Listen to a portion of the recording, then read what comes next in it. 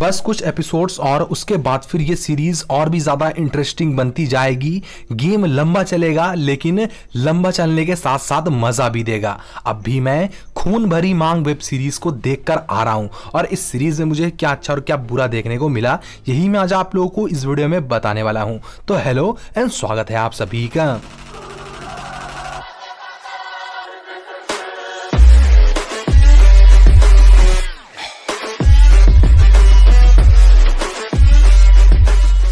आज इतने दिनों के बाद हम लोगों को इतनी लंबी सीरीज़ देखने को मिल रही है, जिसका प्लॉट जरा भी नहीं डगमगा रहा। सीरीज़ में अच्छा खासा पैसा फूका गया है। क्वालिटी से लेकर क्वांटिटी दोनों आप लोगों को इस सीरीज़ में भरपूर देखने को मिलते हैं। सीरीज़ को आज 19 अगस्त को रिलीज़ कर दी गई है उल्लू के ऐप पर और इस सीरीज़ में आप लोगों को टोटल चार एपिसोड देखने को मिलते हैं, जिसकी टाइम ड्यूरेशन तेईस से लेकर पच्चीस मिनट के बीच हम लोगों को प्रेजेंट कराई जा रही है। अब बात करें सीरीज़ के स्टार कास्ट की तो इस सीरीज़ के कास्ट में आप लोगों को डोना मुंशी देखने को मिलेंगी, फिर आती है माही खान। और एक्टर्स के रूप में आप लोगों को धीरज कुमार राय देखने को मिलेंगे, फिर आते हैं सूरज सिंह। सारे की एक्टिंग एकदम अच्छी है, सारे अपने कैरेक्टर में एकदम फिट बैठ रहे हैं। दिल यहाँ पे डोना मुंशी ने जीता और भाई गुर्दा माही खान ने।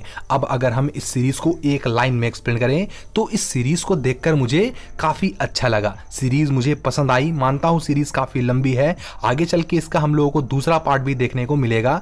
लेकिन भाई, सीरीज़ की स्टोरी देखें सीन देखें तो काफ़ी अच्छी तरीके से उल्लू वालों ने इस सीरीज़ को बनाया है। अब जब किसी भी सीरीज़ में स्टोरी और सीन काफ़ी अच्छी तरीके से देखने को मिले तो भाई सीरीज़ पसंद आएगी ही। सीरीज़ वन टाइम वॉच है, आप लोग इस सीरीज़ को एक बार ज़रूर देखना। स्टोरी की बात करें तो स्टोरी में हम लोगों को एक हस्बैंड को दिखाया गया अपनी गर्लफ्रेंड के साथ मिलकर अपनी अमीर बीवी से गेम खेल रहा है। अब वो गेम किस तरीके का है, अगर आप लोगों को जानना है तो सीरीज़ आप लोगों को देखनी होगी उल्लू के ऐप पर। सीरीज़ की स्टोरी अभी भी अधूरी है, इसका पार्ट टू आप लोगों को अगले सप्ताह तक देखने को मिल जाएगा।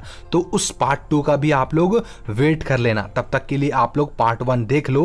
पार्ट वन लंबी है, लेकिन काफ़ी आप लोगों को अच्छी लगेगी। तो बस, ये था वो छोटा सा रिव्यू जो मैं आप लोगों को देना चाहता था। उम्मीद करता हूँ आप लोगों को ये वीडियो पसंद आया होगा। अगर वीडियो पसंद आया हो तो प्लीज़ इस वीडियो को एक छोटा सा लाइक करना मत भूलना।